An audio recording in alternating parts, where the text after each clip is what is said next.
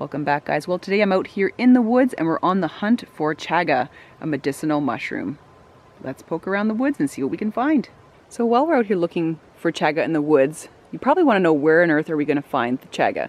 Well most commonly it's found on birch trees. So there's a couple of birch trees I want to introduce you to that we have here in Ontario. Conveniently they are right beside each other here. So let's take a look at this tree right here and you'll take a look at the bark. It's very papery, kind of got little strands on it when it comes off the tree. This tree right here is called the yellow birch. As you can also see here, there's a little bit of a yellow tint to it. Over here, on the other hand, we have a paper birch or a white birch tree. So you can see all the way up, it's fairly white with some black markings on it. And uh, a lot of you guys that start fires um, at camp will know about the bark on the tree kind of curls like that and if you look at it it's very much like paper. It's an excellent fire starter. Lots of resin in there so it lights up and it's very good fire starter. So we look for chaga. We're going to be looking up and down the tree. Chaga tends to be anywhere along the uh, trunk. I found it kind of at eye level here and I've also found it up way high. When you look for chaga you spend a tremendous amount of time looking up and looking way up the tree, trying to look for it. And uh, your neck gets a little bit sore. Thankfully, there's lots of birch around here, so I'm hoping to find some today. Here's a really nice birch stand in here. A few aspen in there as well. Fortunately, I don't see any chaga on these. These are pretty young trees. Chaga parasitizes the birch tree. I don't see any here. There's a little stream forming in the forest. This is some runoff heading out towards my bay there. And uh, a lot of little animals probably come here and have a fresh drink of water. So looking at these birches for chaga, and I'm looking up here and, well, that's not chaga, that's a fir tree. And looks like there's a nest in there. Let's take a quick peek. Very cool. Something was nesting in there. I wonder what it was fairly large nest taking up most of this trunk there on that side. Here's a perfect specimen of a paper birch. So you can see the bark peels right off like that. And there's that excellent fire starter that we all use. And just kind of peels off like that. Lots of resin in there, so fires start really quickly. I'm poking around. Take a look down there. It looks like some kind of little den or something for something. Just a little spot uh, to hide out in the winter, just underneath this uh, cedar tree right here. Another thing that commonly gets mistaken for chaga are burls on trees. This is a, an outgrowth of a tree here, and uh, that is not chaga. Also, if you look at the bark of this tree, this is actually a white cedar. So definitely not a tree that you would find chaga on. Well, this isn't chaga and it's not a mushroom either.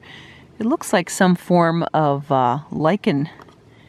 It's kind of looks almost like it's gone to flower. Look at that. It's really weird. Nice thick green stem. It's actually coming out of this moss, so never seen that. In this area here you see a tree. It's a conifer. And what looks like chaga on there. This is not chaga either. This is just a form of rot So it's uh, firmly affixed there, but that's not chaga. It's the wrong kind of tree, and it's not the right kind of fungus. Another example of a chaga look-alike is black knot fungus. So this right here is uh, choke cherry. Now when they're bigger and they're bigger trees, I can see why people would confuse it. It looks black, but the difference is this envelops basically the stem. This affects um, shrubs by the genus name of Prunus. So if you break it apart, it falls off the stem. It's black, but it's definitely not chaga. And of course, this is on the wrong kind of tree, or shrub, I should say, in this case. So this is a choke cherry that has black knot fungus on it. This is not chaga.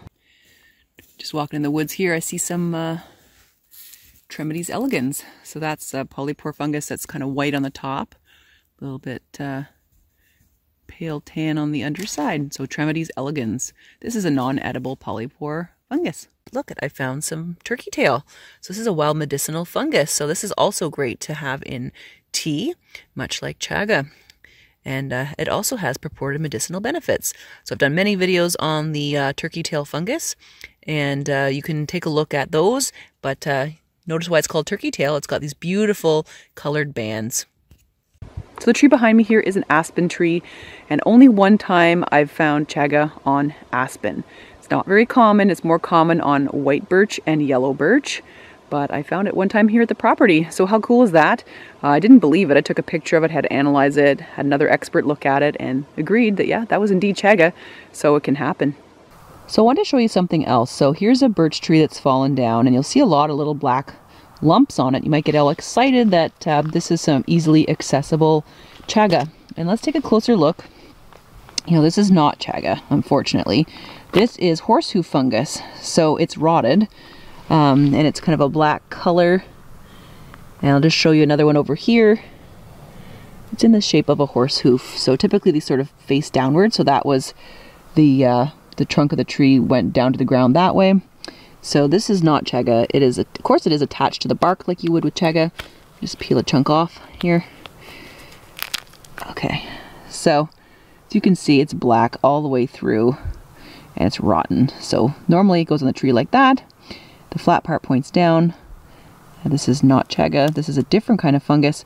When it's in good shape, it actually uh, can be used to uh, start fires. You can get the amadou, uh, which is a layer of this mushroom out of here to create a good fire starter.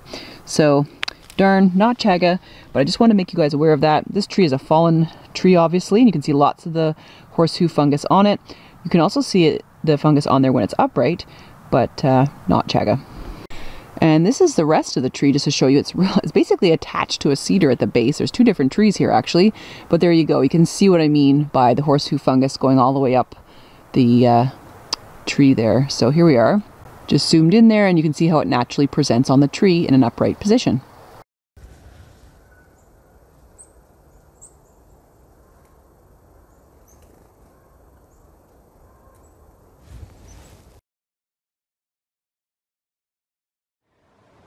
It's gonna go up this trunk here.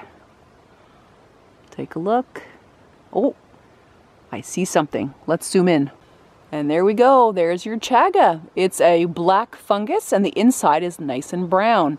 It's kind of lumpy and it lives just off the bark there, so very easy to access. This is the time of year you want to harvest the chaga uh, in very early spring.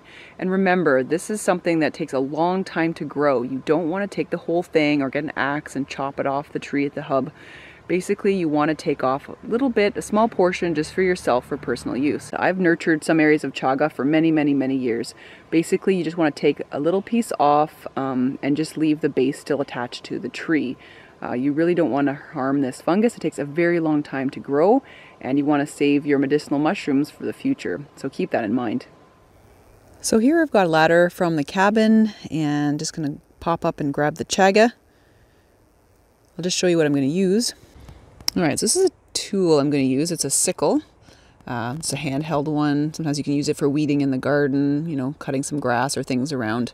I've used it around basically the pines in my little plantation there. So I'm going to use this to saw off a chunk of the chaga.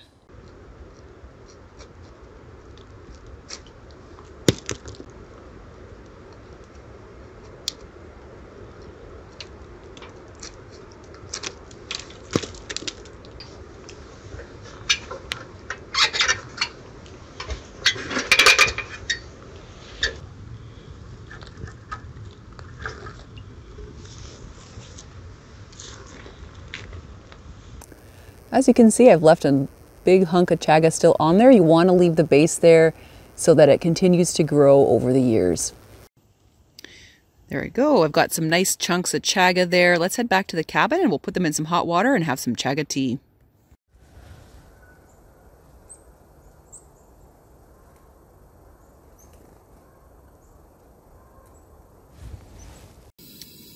So back at the cabin, I've got several chunks right here, and you can see there's black on the outside and that kind of, I don't know, coffee colored uh, look to the inside of the chaga. For long-term storage, you can dry these out and keep them in a cool, dry place. Um, today I'm going to put a few chunks in here in my little teapot there. Well, it's actually a little old coffee pot. Um, so yeah, I don't know, about an ounce or so to about a liter of water and chopped up into chunks. And you're going to let it uh, sort of sit in not boiling water. You're going to want to steep it basically for an hour and a half in about 80 degrees Celsius water. So, kind of like if you're going to do a green tea, uh, temperature wise, you don't want this boiling away or anything like that. So, uh, I'll pop some chunks in here and we'll get ready to make some tea. Alrighty, time's up. Let's take a look at what it looks like. Ooh, that looks good. Mmm, smells good too, very earthy. Let's pour out a glass. Ooh, nice color. This teapot strains out the chunks. You don't want to eat the chunks. Mmm, it's really nice. Tastes very mushroomy, woodsy, earthen. Really enjoy the taste of it. Many people swear by it. Some people say it has anti cancer properties, anti inflammatory properties, uh, helps with arthritis, some people say, lowers blood sugar. I wish they did a lot more studies on chaga so we could all know about this for sure and to know exactly what doses to take. But uh, for now, I just enjoy it as a lovely uh, drink just from the forest. Really nice at the end of a day when I've gone hiking around. Well, I hope you guys learned a lot about chaga today, and uh, maybe you'll find some this spring. Remember to harvest responsibly and uh, check with your healthcare professional to see if chaga is right for you. All right, hope you guys have a wonderful week as always. Take care.